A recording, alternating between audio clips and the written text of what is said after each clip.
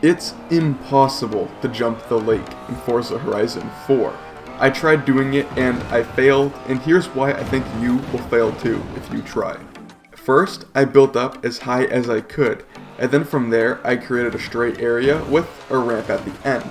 I did this so that my car could gain some speed and hit the ramp, that way I would have a ton of airtime and a ton of speed to get over the lake. As I hit the jump and started going over the lake, my screen faded to black. Then I decided to change the height of the ramp, and I thought, hey, why don't I go downwards and gain speed that way and then hit a ramp and go up? Well, that didn't work either. I think that's because, you know when you drive your car into the lake and then it resets because you're at a certain depth? Well, I think that depth meter goes all the way up into the air, so when you're flying over the lake, the game thinks your car is really submerged underwater and it decides to reset you.